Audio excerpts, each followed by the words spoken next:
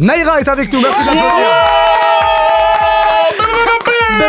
Mais on fait vraiment un truc comme si on était 10, Ah, 15, c'est 20 dans le studio. J'adore. Comment ça va? Ça va super. Et vous, comment ça va? Bah ça, tu vois, hein. ça va, tu, tu- tu- tu sais, hein c'est c'est ton euh, premier EP du coup. Il y, a Oh, eu, il exact. y a eu des singles jusqu'ici, beaucoup de singles. J'ai fait des maxi aussi voilà. avec trois titres. Ouais, des maxi, parce Des que ça, c'est, maxi. ça, c'est vraiment un truc qui, qui appartient autant, des, autant du format physique, tu vois. Mais ouais, toi, ouais. t'as quand même voulu le faire Ouais. en mode euh, je sors un single avec deux morceaux derrière. C'est ça. Mais là, c'est le premier EP. Euh, musicalement, il y a un truc très, très électro, un peu dur dans ce, Mhm. cet EP. Euh, et pourtant, on sait que tu peux faire des morceaux euh, beaucoup plus doux, où tu chantes un peu plus, Mhm. euh, à l'image de ce que tu avais fait euh, l'année dernière. D'ailleurs, tu avais fait un concert euh, Move la sélection. Exact. Tu avais interprété ce morceau, euh, notamment euh, celui-là. Bordel de merde, parfois je m'entête. Plus doux. Plus doux. Ça, c'est maquette. Exact. Et c'est la version live qu'on écoute. Je voulais mettre la version live parce que après on parlera du live et je voulais montrer que t'étais à l'aise en live et c'est pas le cas de tous les artistes. C'est vrai. Euh, pour- Pourquoi t'as décidé de prendre cette direction sur l'EP justement hein, Le truc un peu plus dur, un peu électro. euh, Ah, Après, moi, ça fait, ça fait longtemps que, que je, je voulais aller dans cette direction-là. En fait, ça fait genre deux ans que j'expérimente euh, pas mal de choses. Je suis une fan de synthé analogique et de synthé modulaire. Ouais. Et je voulais absolument genre créer de la musique avec ça, mais correspondre aussi à, à mon identité et mélanger plein de trucs, tu vois.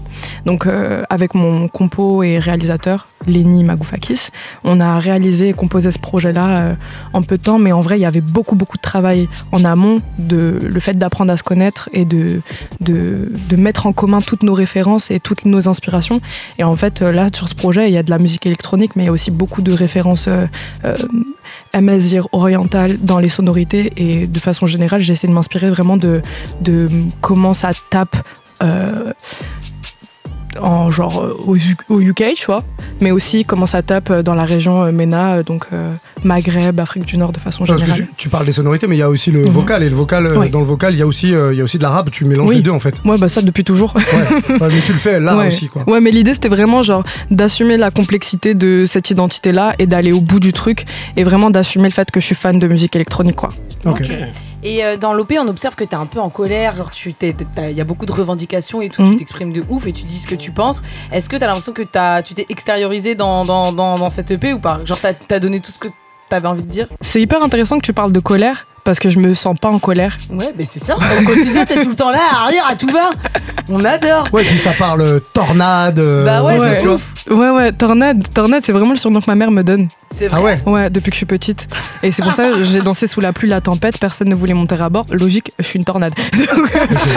D'accord. Bah on la salue hein. ouais, a- bah, il a dû avoir des heures un peu, un peu ouais, ouais, compliquées. ça quoi. doit être compliqué pour la, pour la petite dame. Mais, mais ouais, ouais, l'idée, euh, l'idée, c'est vraiment d'exprimer toutes les émotions et parfois des émotions qui sont contradictoires, tu vois. Ouais. Genre, euh, la, la colère, elle existe, mais elle cohabite aussi avec euh, l'apaisement et la paix, ce qui parfois peut poser problème. Genre, tu dis c'est pas logique, ça va pas ensemble, mais au, bien au contraire. Là, c'est plus, je dirais, c'est pas de la colère, c'est vraiment de la rage exprimée. Ouais. Et la rage, elle naît de quelque part. On a tous de la rage en nous. Et l'idée, c'était vraiment juste d'exprimer mes émotions et d'être le plus honnête avec elles sur ce projet. Ok, d'accord. Et t'as l'impression que tu t'es senti mieux quand t'as terminé euh, ton, ton EP, quand t'as, t'as, t'as tout dit? Bah, surtout mes titres. de toute façon, t'étais bien déjà de base. Du coup, mais je sais pas, Ouais. on dirait que tu lâches vraiment tout. Ouais, ouais, en vrai, sur tous mes titres, il y a, y a ce truc, euh, encore une fois, je me répète et je suis redondante, mais il y a ce truc euh, de hum, d'honnêteté et de transparence Mm. absolue envers moi-même Ouais. pour pouvoir l'être envers les autres. Ok. Et, et donc, quand j'écris, euh, j'écris avec euh, une conscience de moi et un recul sur moi parfois qui est bizarre et effrayant, Ouais. mais, mais qui me permet du coup d'avoir euh, d'avoir de la distance Mm.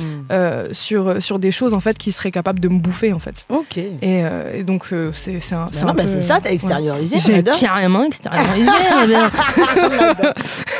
Tu, tu préfères, tu préfères l'exercice du studio ou le live? Parce Le que le live. pour ex- extérioriser, Mm. justement, c'est Ouais. quand même euh, Ouais. top. Non? Ouais, ouais, c'est c'est carrément, euh, c'est carrément pour ça que je fais de la musique en fait. Moi, le studio, c'est pas ce qui me fait le plus kiffer, tu vois. Même si le process euh, créatif, il est hyper intéressant et c'est le moment où tu te fais le plus kiffer sur, euh, sur l'élaboration d'un- d'un projet. Mais le moment où, le, où ça prend vie et où tu partages avec des gens, genre, ça, ça prend une autre dimension et ça veut dire autre chose, tu vois. Et euh, donc, ouais, le live, moi, c'est. C'est marrant que tu parles de J'adore. kiff. Parce que dans le morceau avec Turi, par exemple, Mhm. tu dis le stress me bouffe en concert. Genre, euh, les gens le savent pas, les gens Mm. n'en ont pas conscience, mais le stress me bouffe. C'est pas un concert, justement.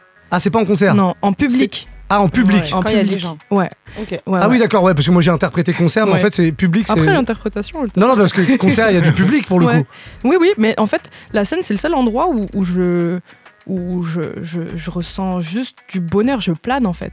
C'est le seul endroit où je suis moi à un milliard de pourcents et j'essaye de plaire à personne, tu vois. Mm. Ou Là où dans la société, on... Enfin, tu sais, dans, Ouais, on dans- essaye toujours de ouais, t'es obligé. La manière dont t'es avec ta famille, c'est pas la même Mm. euh, qu'avec tes potes. Après, j'essaye vraiment de restreindre un maximum euh, ce, ce truc-là. Il y a des gens qui ont vraiment plein de personnalités en fonction de leur groupe. euh, Mm. Tu vois ce que je veux dire? Et je pense que c'est complètement humain. Là où j'essaye genre vraiment de restreindre le truc, et ce qui fait que sur scène, pour moi, c'est le point de consécration. Genre Mm. ma famille, mes potes, euh, les gens qui me connaissent pas, les gens qui me connaissent un peu, qui me conna- qui connaissent juste ma musique. Genre c'est moi à un milliard de pourcents et je peux pas être moi ailleurs qu'à cet endroit. Bah, C'est tout l'inverse de ce que j'ai dit en fait. Ouais. Le, public des concerts, c'est Ouais, trop bien. ouais. Mais, Mais, je, dans- suis une- je suis de nature très anxieuse. Ouais. Ouais. Ok. Je suis une anxieuse de la vie, j'ai fait beaucoup de crises d'angoisse pendant très longtemps. Euh, je suis souvent stressée et je le montre pas aux gens. Ah ouais, Ok. ça se voit Ouais. pas, hein Non, non, là, que- je suis en paix là. Parce que fin- finalement, sur scène, en vrai, ce, ce que tu es, en gros, c'est ça qui fait kiffer les gens. Mm. Bah, Genre, ça, en gros, t'es vrai et tout, et Ouais, les gens, ils kiffent. Donc, en vrai, c'est- tu peux que kiffer toi De aussi. ouf. Et même, je le dis sur, euh, je le dis dans des titres et je le dis sur scène. Je le dis, euh, enfin, je le dis dans des textes que je suis une putain d'anxieuse et que, enfin, j'ai encore du mal à gérer ça euh, malgré les années. Et, euh, et vraiment, genre, le, le- le fait de canaliser cette énergie-là et de d'être dans un truc de d'échange et de partage, parce que c'est 70% du public un concert. hein. Mhm. C'est Bah toi, ouais. t'es là, mais tu te donnes à fond, mais c'est aussi le public quand il est avec toi. C'est carré. Mais du coup, tu Oui. penses pas quand t'es sur scène? Non, je pense pas. Bah c'est ça, hein. je Faut arrêter de penser, ma belle. c'est la technique, hein. Tu es triste Arrête d'être triste. Non, mais, là, tu parles d'anxiété. L'anxiété, c'est vrai que ça touche euh, bah, énormément de gens. Mhm. C'est quoi tes remèdes du coup, toi, pour, euh, pour être moins Oui. anxieuse dans Pour, la vie euh, bah écoute, il y a plein d'outils qui existent pour, euh, pour gérer des crises d'angoisse ou des, des crises de stress. ou des. Déjà, je pense que l'entourage euh, joue un rôle primordial. Donc, entourez-vous sainement, c'est très très Choisir. important. Choisir Ça, ses amis. C'est c'est ta deuxième famille, donc il faut que tu choisisses. Là, tu as l'occasion de choisir ta famille. Donc, choisis bien. Euh, la, la méditation, les exercices de respiration et Ouais. l'écriture. Vraiment, l'écriture, le fait de poser sur papier des trucs qui genre te prennent trop la tête et qui sont genre. Bah, le fait de le poser, il te paraît moins gros, il te paraît moins problématique. Il est là, il est posé, tu le crabouilles, tu le jettes, t'en fais ce que tu veux et c'est c'est plus un problème. Donc, ouais, l'écriture, la respiration et, euh, et fa- faire des trucs que tu kiffes en fait et qui, genre peindre, euh, euh, faire des photos, euh, tout ce qui est lié à l'art et qui te permet de- d'extérioriser Bah ouais, non, justement te, te permettent en fait de, de, de faire taire les voix dans ta tête et de, de les mettre ou du moins de les figer, de les cristalliser à un endroit et de ne, de ne plus en parler, quoi, ne plus y penser. C'est quoi ton truc à toi, à part la musique? Alors, quand tu fais pas de musique, c'est quoi ta, ta passion, euh, ton, ton hobby? Ah, J'en ai plein. Genre, mais il y a un truc vraiment que. Ton que tu plaisir fais régulièrement. Ouais, ton personnel. petit truc, Mon quoi. plaisir personnel, Ouais. j'adore prendre des photos de gens qui m'entourent. J'adore faire ça. Je peins. Mhm. Euh, J'ai ma petite sœur qui est peintre. C'est vrai. Ouais, ma Mais petite allez, sœur. allez, une euh, petite pub, elle a pas Insta, Elle un truc s'appelle euh, Lei, L-E-Y. Oh. Euh, Ayun Lei, 3, bref. Elle a trop la flemme, trop. Oh, la pro Merci pour Oh, la attends, force. attends. Merci pour la force. En fait, dans ma tête, j'étais en mode Attends, son nom, il est compliqué. Son Instagram Non, attends, il faut la respecter. Oui, quand bah, même. 3-Y-O-U-N tiré du bas L-E-Y. Et elle met euh, ses peintures compliqué. et ses photos. Ouais. Elle met ses photos sur Instagram. En, en- en vrai, si tu t'écris juste L-E-Y, tu vas la trouver en première. Ok, Donc, euh, ouais, ouais, on, on- on a. On a souvent fait des choses ensemble et elle vraiment c'est son domaine et vraiment je suis trop contente de lui avoir laissé cet héritage là genre en mode maintenant elle a fait sa vie avec Ouais. mais du coup euh, ouais c'est ce qui me permet de Dès que ça. ouais la peinture surtout c'est tellement plaisant c'est Ah ouais. ouais tu peins tu... en fait on s'en fout de à quoi Ouais. ça ressemble à la fin moi je sais pas dessiner Ouais. et par contre peindre genre c'est Ouais, tu balances les couleurs. ouais tu t'en tapes en fait t'es juste en train de faire euh, un amas de couleurs de formes de trucs et, C'est ça la peinture en vrai, parce que quand tu regardes ceux qu'on qu'on percé entre guillemets dans la peinture, Mm. ah, c'est pas forcément des trucs très très euh, Mhm. très très fidèles à, à la réalité, tu De vois. Et, et en fait, euh, il y a du succès, ça se vend euh, des millions De d'euros, ouf. euh, de ouf voilà. de ouf mais genre typiquement un mec comme Basquiat moi il me tabasse Ah ouais. pourtant c'est pas C'est pas, technique. c'est pas ouais techniquement c'est pas son trait qui me parle mais en fait c'est juste le fait que je me dis ah ouais putain là il avait le seum ok là il Mais était triste. ça. Le fait que j'arrive à percevoir l'émotion à travers son coup de pinceau et c'est ça qui est chaud. Donc euh, ouais, peinture, génial. Toujours à propos de ce morceau euh, avec, euh, avec Turi, d'ailleurs, la rencontre, elle s'est fait comment? Mais on se connaît depuis longtemps, tu, Ok. tu et moi. Tu C'est ma petite Tu, Ah, ah, c'est mignon ça Zerma C'est c'est vraiment mon, mon frère de, de cœur et mon frère spirituel. On a vraiment une connexion hyper intense. Ça fait genre euh, 4-5 ans qu'on se connaît et euh, on, on s'est connus en studio, euh, on faisait un peu de musique euh, ensemble. euh, on testait des trucs et depuis ça, ça, ça a jamais bougé en fait. C'est c'est vraiment mon frère d'une autre mère. Genre, euh, Ah ouais, et ouais, c'est pour ça que c'est le seul feat sur le projet. Ouais. Parce que d'un d'un point de vue symbolique, c'est quelqu'un qui m'a humainement toujours inspiré. C'est c'est un vrai pilier, ça a toujours été. euh, En fait, c'est mon meilleur ami, quoi. Oh, c'est trop Ah, ça, c'est lourd, ça. Et vous parlez de sacrifice dans le morceau. C'était, c'est quoi ton plus gros sacrifice, toi? Jusqu'à ce jour. Enfin, à ce jour. Ah, Ah, j'aime bien ce genre de réaction. Euh, je pense que les aînés peuvent comprendre ce que c'est qu'être l'enfant du sacrifice. Quand t'es aîné, ouais. surtout dans une famille euh, monoparentale, Mhm. Euh, en plus, tu rajoutes euh, la phase euh, tes parents sont, sont, ont migré en France. Ouais. Donc, tu as une sorte de responsabilité sur les épaules que personne t'a imposé en fait, en réalité, mais que. C'est- Ça vient sur toi Ouais. comme ça Bah, C'est insidieux, tu vois. Ouais, t'as bah pas le oui. choix. Soit tu te les imposes tout seul, soit on te les impose un peu indirectement. Mm. Et donc, tu es obligé de sacrifier beaucoup, beaucoup de choses, je pense, dans ta vie. Le fait, euh, je sais pas, j'ai. Je pense que mon enfance a un peu été sacrifiée à Mm. certains endroits, tu vois. Après, c'est un choix, tu vois. Parce que tu peux ça. faire le choix de fuir, du coup, Mhm. mais tu peux faire le choix d'a- de- de- d'endosser ça sur tes épaules, tu Mhm. vois. Et c'est ça qui monte ta force de ça. caractère. Exactement. Ouais, et ton ça. éthique surtout aussi. Bah, c'est pour ça que, enfin, vraiment, Enfant du sacrifice, ce titre s'appelle comme ça parce que c'est vraiment des discussions en off qu'on a beaucoup eu, tu, tu et moi. et Tu euh, tues, ça me tu- tu- comme elle Continue de l'appeler Tutu, on adore. tu ris comme ça, les gens ils vont aller stream et écouter. non, tu ris. euh, y a- y a- c'est vraiment des conversations qu'on a eues et sur sur euh, sur les, les similitudes et les points communs qu'on a. Ouais. euh, à différents endroits de nos vies, on n'a pas le même âge, on n'a pas les mêmes histoires et pourtant il y a plein de choses qu'on a vécues En tant Euh, qu'aîné. En, bah, en, en tant qu'enfant du sacrifice. Ouais. mais, euh, mais oui, moi en tant qu'aîné, oui.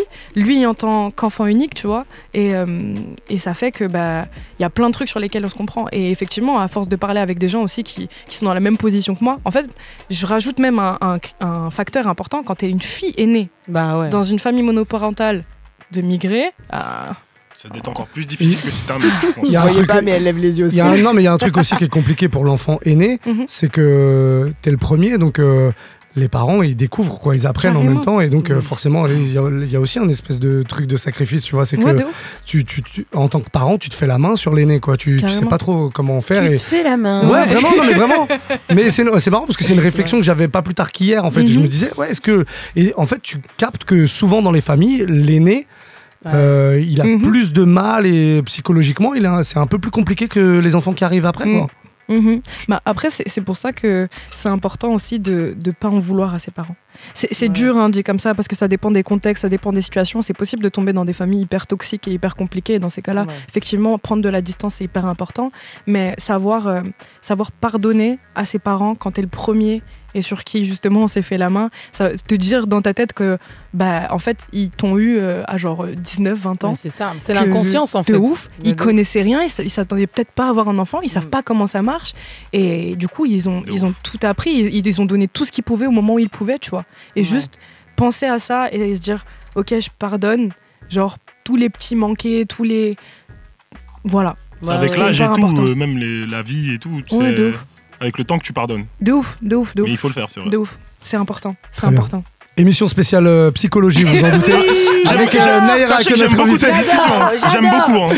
On va se faire un extrait de ton EP si tu le veux bien, Naïra. Yes. Euh, le morceau c'est Zmagria. Oh là là. Je la l'ai ou pas de- je Tu l'ai l'as, tu l'as, tu. La vie de Wam, il s'est entraîné 4 heures avant. Mais tout. pas du tout, c'est vraiment naturel. Comment on dit nanani, nanana. lui. Pas du tout. Je lui ai dit, est-ce qu'on dit comme ça? Elle m'a dit ouais. Il l'a dit du premier coup en plus. Voilà. Ah, tu participes Bah à son non, ego mais non, je fais pas preuve de mauvaise foi. Elle veut m'enterrer, elle veut juste m'enterrer. elle, a, elle a encore un peu de rancœur par rapport à l'embrouille de tout à l'heure. Mais tout ça va passer. J'ai senti. Tout ça va passer, dans une heure ce sera terminé. Euh, Qu'est-ce que c'est ce morceau justement? Qu'est-ce que ça veut dire, Zmagria Zmagria, c'est euh, l'appellation qu'on donne euh, aux enfants d'immigrés au Maroc, en Algérie aussi, beaucoup. On dit Zmagri ou Zmagria pour dire euh, bah, que t'es pas de là-bas, donc t'es un enfant de la France. C'est un peu dénigrant C'est un peu péjoratif en fait euh, dans les faits, mais je trouve ça cool euh, qu'il y ait une réappropriation du truc. Moi, je suis une meuf, je me réapproprie les trucs péjoratifs. Le mal, j'en fais du bien. on, a pas- on en parlera en antenne. Toi, t'es euh, un peu du Maroc, un peu d'Égypte. Ouais, 50-50. 50-50. et, ça, c'est vraiment un truc que t'as ressenti. Quand t'es là-bas, euh, bah, t'es pas de là-bas. Mhm. Et quand t'es ici, bah, forcément, t'as ressenti euh, Ouais. certainement, euh, euh, bah, comme, comme, Comme, beaucoup d'enfants d'immigrés, en fait. Ouais, euh, de ouais, ouf. bah, ouais. Parce que Ouais, tous, hein, peu importe le pays, en Afrique, on ressent tous la même chose. Quand tu vas là-bas, Mm. moi, quand je vais au Sénégal, on m'appelle le français, tu vois. Bah oui, Ah bah. Après, euh, on me dit pas, tiens, euh, c'est ça. y En a fait, pas je un mot spécial, mais on me dit vraiment le français, tu Je vois. pense que c'est, une, c'est une, une problématique, ce truc de gap où t'es entre deux trucs à chaque fois, qui concerne beaucoup, beaucoup de gens. Et j'en parlais juste avant, c'est trop drôle, mais je disais que bah, y a plein d'autres endroits dans ta vie où t'es aussi en- dans un entre-deux, tu vois. Et euh, Zmagria, c'est un peu ça. C'est un peu euh, je suis tout et rien. J'ai- Non, on l'a compris, on l'a, j'ai on l'a. compris. J'appartiens à tout et rien. Ouais, Ok. je suis juste moi en fait. Là où Mm. la case là euh, du milieu, là où il y a le no man's land, là où on Mhm. est tous là comme ça, bah venez, on fait un bête d'endroit, on fait la tête là-bas. tu vois Venez, on fait un festival. On fait un festival. Et c'est ça. C'est ce morceau, en tout cas. C'est ce morceau. Bah, Tu nous le fais en live? Let's go. Allez, let's go, on y va.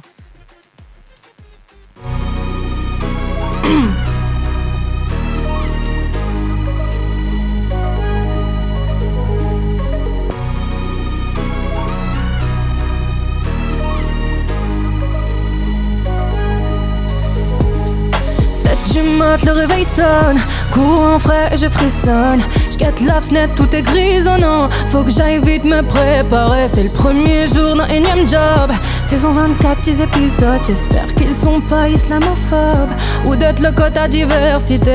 J'ai enfilé ma chemise, petit cargo, belle sneakers. Carly à routine, un coup d'œil sur Twitter. Je me dis que le monde débile débite du vide. Puis j'ai retweeté un vieux bail sur les suiveurs. Sors d'un 17 mètres carrés je paye 600 balles. Je prends trop, mais je débarque pas très loin de la cigale. J'aurais pu la faire un jour, mais j'ai tout plaqué. Pas eu beaucoup de chance, mais j'ai des diplômes à exploiter. Bref, j'arrive à l'open space, tout le monde a la même gueule. De l'anglais à tous les mots, un vieux gars m'accueille. Bienvenue la miss. Rapprochement, clin d'œil, j'ai déjà envie de dégueuler et de le foutre dans un cercueil.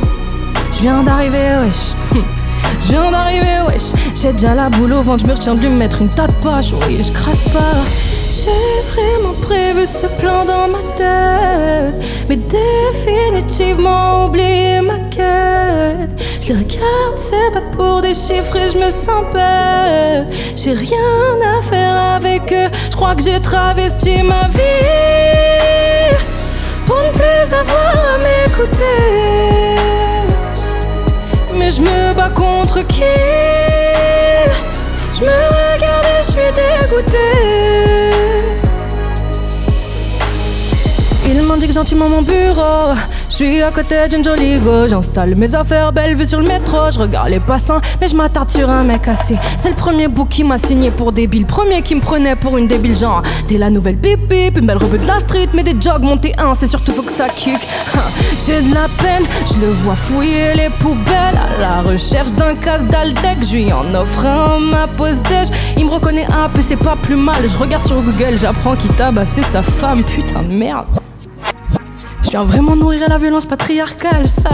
Je suis dans le mal, je remonte vite dans la grande pièce immaculée. J'arrive, j'entends des réflexions sur ma couleur. Je vais tout brûler, je vais tout brûler. Mais la go à côté de moi me tient par la main comme si je la connaissais depuis des années. Elle me dit Naïra, faut pas se laisser faire. Je lui ai jamais dit mon blast, putain, mais quel enfer. J'ai vraiment prévu ce plan dans ma tête, mais définitivement oublié ma quête. Je les regarde se battre pour des chiffres et je me sens bête. J'ai rien à faire avec eux, je crois que j'ai travesti ma vie pour ne plus avoir à m'écouter. Mais je me bats contre qui? Je me regarde et je suis dégoûtée.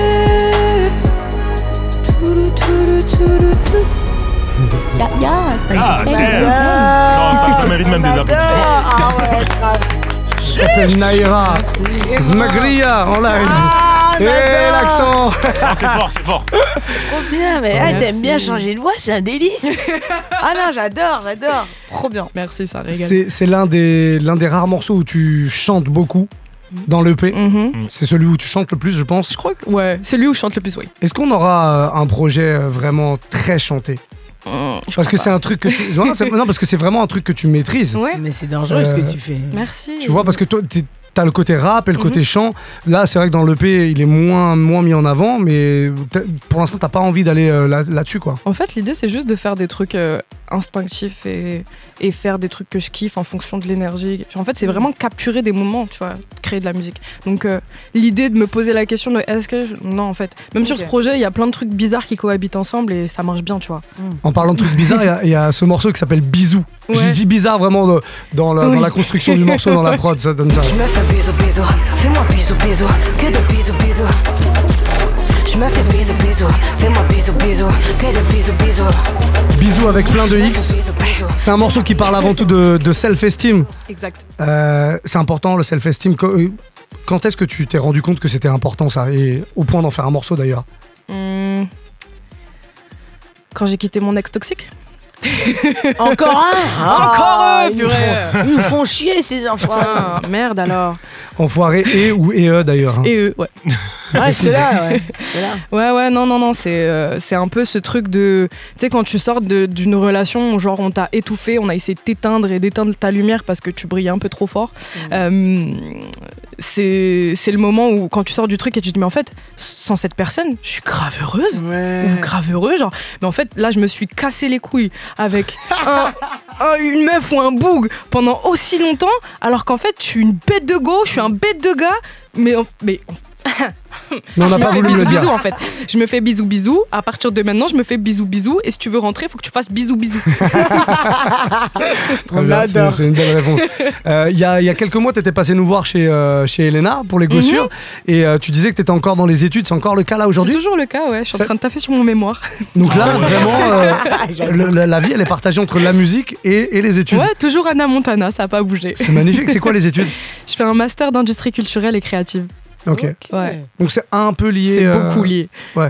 je fais- ça, ça parle de, de l'industrie du cinéma, de la musique, euh, la mode, les jeux vidéo, comment on finance ces, ces- ces projets-là, euh, comment on fait pour qu'ils existent, comment on taffe un bien culturel en fait finalement. Mais tu veux faire quoi plus tard, toi? Quand tu seras grande Quand je serai grande, alors moi à la base je voulais être pilote. C'est vrai Ouais, D- je voulais être D'avion pilote d'avion. Moi aussi, meuf Oh non, je te jure Oh, je vais tout casser, arrête Wesh, qu'est-ce qui s'est passé C'est quoi Moi, ça s'est arrêté en seconde quand il a fallu choisir. Eh ben, moi, ça s'est arrêté plus tard. Moi, j'ai fait mon bac S. Je me Ah suis dit, ouais. je vais y aller. Je suis sortie du bac. Et j'étais en mode, ok, maintenant, on va voir comment ça se passe. Mhm. hein. 25 000 balles, l'école préparatoire. Alors, je vais aller me faire foutre là-bas. Ouais, Ok. C'est pas facile, c'est pas Je vais aller me facile. faire foutre, c'est mieux. Hum, hum. Donc voilà, je me suis dit, euh, Oh, putain, autant faut, meuf, l'utile à faut aller à. Saint-Cyr si tu veux, on y va toutes les deux. Il y a Ah des ouais cours de pilotage. il est jamais trop tard. Jamais. Juste en pilote, on s'éclate. Ouais, juste on s'éclate. Allons-y, je suis chaud. Je suis chaud. Allez-y. Faites attention quand même. hein. Un peu dangereux quand même l'histoire. Euh, en parlant de cinéma, tu sais, quand j'écoute tes morceaux. On parlait pas du tout de cinéma. Non, mais. bah, Mais si. parlé de dans l'industrie du cinéma. Ah, Non. Très bon link. Et, et genre, bah, du coup, tu sais, quand j'écoute tes morceaux, il y a un truc qui me marque, c'est l'interprétation. Mm. Surtout, bah, par exemple, sur celui que tu nous as fait en live tout de suite, l'interprétation, c'est vraiment fort chez toi. Merci. Et euh, je trouve que tu as une personnalité aussi qui est euh, assez, voilà, solaire, etc. Merci. Est-ce que ça, ça t'a traversé l'esprit, le cinéma, hein, genre, pour toi, genre euh, être actrice? Ouais, je te même pareil. Je te dis la vérité. C'est c'est ça que je me suis dit. J'avais la réponse euh, en voyant le visage. On avait la Ouais, c'est réponse ça que je me suis dit aussi, tu vois. Parce qu'il y a plein d'artistes euh, qui font de la musique, ils vont dans le cinéma, c'est pas forcément fait pour eux. Mm. Mais toi, j'ai l'impression que c'est un domaine dans lequel euh, tu pourrais t'épanouir. Ouais. Donc, Ouais. euh, c'est pour- c'était pour Mais savoir de- si t'en as si avais Tu pensé déjà. faire bisous bisous là-dedans. Ouais, déjà je me fais kiffer sur les clips pas mal, tu vois. Ouais. Genre vraiment, il y a un truc de. Tu rentres dans une sorte de personnage euh, Bah ouais. et t'essayes de- d'interpréter. Enfin, tu vois, genre. euh, Bah même là, t'as bien interprété. merci. Mais tu vois, tu vois, en visuel, Ouais, Genre, ouais, genre t'as une caméra devant toi, c'est maintenant et tu dois donner une énergie à travers tes yeux. Genre, c'est toi la caméra. Ouais. T'es censé transmettre le truc. Ça, ça me fait kiffer de ouf. Et là, sur le dernier clip, Billy, genre vraiment, ça a été un kiff absolu parce que pour le coup, on est sur de l'acting. Ouais. Genre, c'est le, le truc, on l'a vraiment pensé comme un film. Même dans Ego Trip. Genre, je, repense à Ego Trip quand j'ai regardé, je dis, mais c'est nous. Genre, on dirait que t'as plusieurs Eh ben, personnages. j'ai carrément plusieurs personnalités, donc. euh, Ouais. Elle L'idée, ils vivent tous en cohabitation, tout le monde est heureux. euh, voilà, dans ma tête, tous mes petits bonhommes, ils sont en paix. Euh, mais ouais, ouais, li- franchement, si demain on me propose de faire un truc euh, genre Voilà, plus donc cons- si avec demain- du texte, Ouais, voilà, genre euh, même le théâtre, en fait, je kiffe. Et, Ah, euh, ok. non, Donc c'est pas un truc que tu refuserais. quoi. Jamais. Ok. Jamais. Cool. Moi, je suis une meuf, j'adore tenter, j'aime bien goûter, j'aime bien peu la fraise, un peu, je suis un peu gourmand. T'aimes bien la fraise Bien sûr. T'aimes bien la fraise Là, Vraiment, on se régale. Euh, Fraise framboise myrtille. on n'a pas parlé d'un truc, alors c'est peut-être un peu relou pour toi d'en reparler parce que je pense que tout le monde t'en parle, mais il y a euh, quoi, six mois, un truc comme ça, on t'a découvert, enfin le grand public t'a découvert avec Nouvelle École. Mhm. Euh, Il y a un an, la Nouvelle École saison 2 n'avait pas encore vu le jour. Mhm. Qu'est-ce qui a changé entre il y a un an et aujourd'hui pour toi, musicalement évidemment, dans ta carrière? Je pense que musicalement, euh, musicalement rien rien n'a changé euh, pour moi. Dans le sens, euh, enfin vraiment au, sens artistique. Des fois, les gens me reprennent sur quand je dis ça a rien changé. C'est parce qu'en fait, je pense que ça, c'est vraiment un bonus dans ta vie en termes de visibilité. Ça a mis vraiment un coup de projecteur sur le taf que je fais depuis longtemps. Donc vraiment, ça, je suis reconnaissante un milliard de pourcents parce que je m'y attendais pas. Parce que vraiment, faut se dire que moi, le jour du tournage. Ça n'a pas duré très très longtemps. quoi. Bah oui. C'était une journée. C'était une journée, on, je me suis levée à 7h, bref, euh, j'ai fait le truc, on m'a dit non, j'ai fait ok, salam alaikum les royales, Ouais, parce que- Parce que les gens ils ont vu ton talent aussi. Donc, Bah, euh, c'est ça. Oui, c'est ça en fait, parce que pour ceux qui n'ont pas suivi la saison Mhm. 2 de Nouvelle École, tu t'es fait recaler euh, bah, à la première apparition, d'entrée. Voilà, Et- comme, et- euh, comme quand je vais en boîte. Et en fait, là, Oh, non, mais Non, je suis de Montezo, là, je me Bah suis ouais, bah là où t'as eu, elle fait la victime. Euh, Jamais. Là où, non, mais là où, là où se faire recaler à Nouvelle École, ça peut être terrible dans une carrière, ça peut même, à mon avis, arrêter des carrières. Mhm. Il y a des gens vraiment qui euh, se sont fait recaler, qui l'ont mal vécu. Ah bah Et dans que le- hurler dans la Voilà. salle, Et quand dans, le montage après, dans le montage après, euh, quand euh, nous on le reçoit en Mhm. tant que spectateur, euh, pour eux c'est terrible parce que euh, il y a des moqueries. Enfin, c'est Mhm. dur de se relever de tout ça. Toi, au contraire, ça a été tout l'inverse. Tu t'es fait recaler, mais par contre, tout le monde a dit Bah, ils Non. comprenaient pas. Elle s'est fait voler. Donc, Je te jure que je crois en Dieu.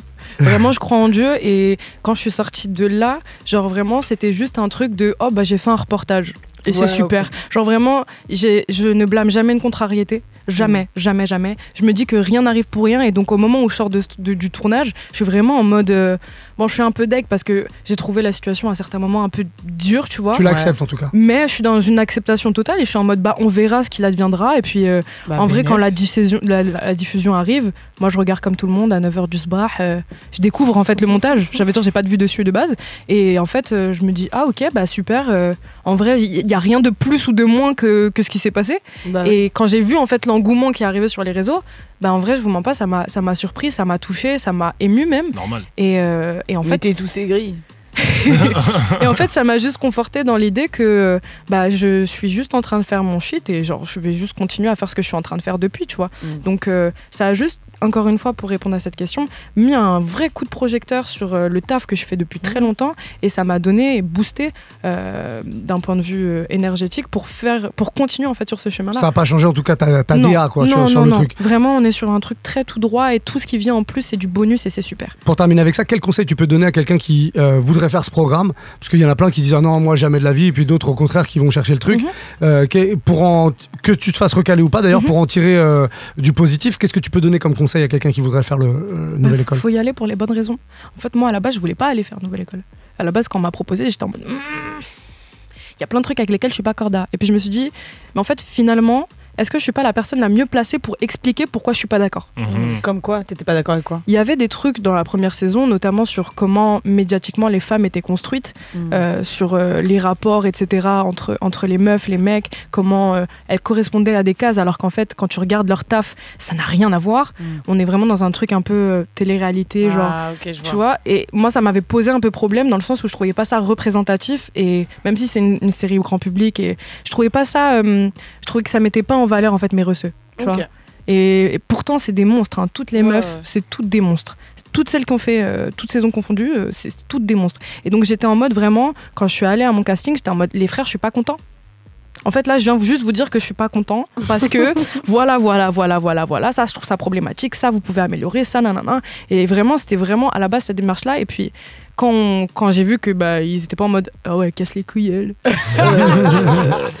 Euh, ils étaient juste en mode non, franchement, ça nous intéresse et tout. Et j'étais en mode mais en fait, qui de mieux que moi pour faire ce que j'imagine dans ma tête et pour représenter ce que je vois pas tu vois.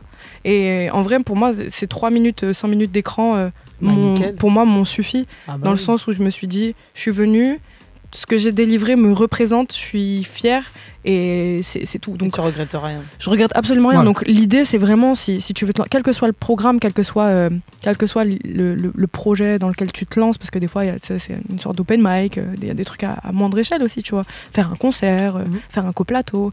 La question, c'est pourquoi tu y vas? C'est pourquoi tu veux le faire? Quelles sont les raisons qui te poussent à y aller? Et si c'est des raisons, euh, si c'est des contres, est-ce que les contres, c'est pas finalement des pour Mm. tu vois? C'est vraiment le seul conseil que je peux donner. C'est si t'es intègre, t'es aligné, t'es es fidèle à toi-même, fais tout ce que t'as envie de faire et genre représente la personne que tu es, fais en sorte que le petit toi soit fier de Watt, c'est tout. Oh, t'es inspirante, ma. On terminera là-dessus en tout cas. Merci Ah pour ces belles paroles, merci Naïra. à vous. Merci pour la Ria, c'est le nom. Comment tu le dis? Dis-le bien. Ria. Ria. Ah, Ria. Allez streamer ça, en tout cas, c'est dispo Grave. depuis le 17 euh, euh, novembre. Mhm. Et c'est partout sur les plateformes, un EP, 8 titres. Tu reviens nous voir quand tu veux, dès qu'il y a de l'actu, dès qu'il y a des trucs.